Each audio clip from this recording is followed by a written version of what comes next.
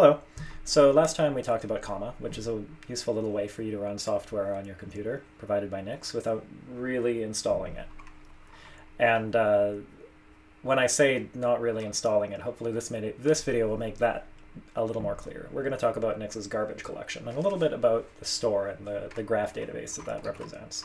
So when you run something like tree, you'll see it works regardless of whether or not that software is installed. Um, now, what actually happens when you run software in Nix is, let's say, so I do have ripgrep installed, and I'll run rg help, and you'll see it works. But ripgrep, really, the path that that exists at is this link within my Nix profile. And so if I resolve that link using readlink, so this is a symlink, you'll see it points to this place in the Nix store, which is this big long, oops, big long path slash bin slash rg. Now, the Nix store is a graph database, and the those graph edges represent all of the things on which it depends. So what that's to say, I can ask the graph database, like, what is everything that ripgrep depends on? And I can say Nix store query requisites of that. And I'll get back this very short list. So ripgrep just depends on itself, just because that's the way these things often work. And libsystem, which is the macOS equivalent of, uh, say, Linux's libc. Um, so very light on dependencies.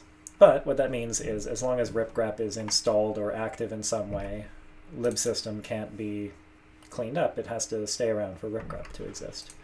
Now when I run comma tree, what's really happening is something at some point in the stack is running something kind of like nix build, nix packages, a tree. And we get this thing back, which is another path in the Nix store. And if I would run Nix store query requisites, or short form is QR of that, I'll see this somewhat longer list. All of these things are dependencies of tree that can't be cleaned up as long as tree is installed.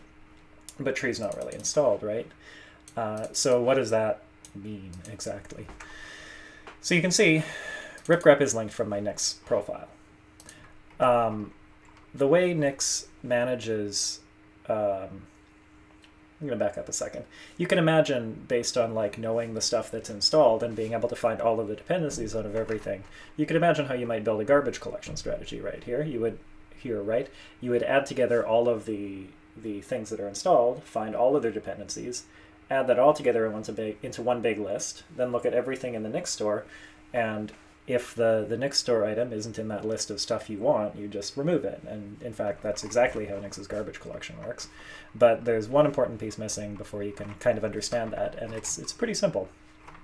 Nix has this directory at nix var nix gc roots. And this is just, at the end of the day, this is like nested directories of ultimately what they are is symlinks somewhere into the Nix store. So if I look at profiles slash per user slash burke slash profile, um, say 30 link. That's a symlink. And if I do read link on it, I'll get this Nix store path, which means when Nix garbage collection runs, it looks through this whole Nix var Nix GC roots directory, finds everything in the Nix store linked from there, finds all of its, um, the whole I guess you could say the transitive closure of dependencies on it, which it gets by running something like nixstore qr of that. Let's just try that. We get this whole thing. So all of these are dependencies of my user environment.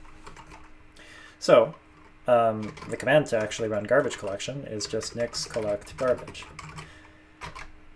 And you'll see it'll do a whole bunch of deletion and then say, I'm done. So in this case, we mostly cleaned up some gem stuff because I've been working on some gem stuff.